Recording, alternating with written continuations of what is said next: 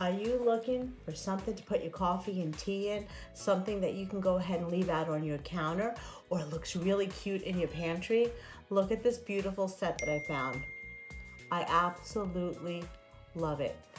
They're white with gold. It's a really nice quality. I use these on our camper and it keeps everything super fresh. We don't empty out the pantry every time we use it. I love the details on here as well. They really look so adorable. You can leave them on your counter. I have another set that I use at home too. You can put the sugar, the teas, you can even put hot chocolate. There's so many things that you can do with these. They really look adorable in person as well and they make a really nice gift. I love these products and I highly recommend them. Super cute for anybody's house.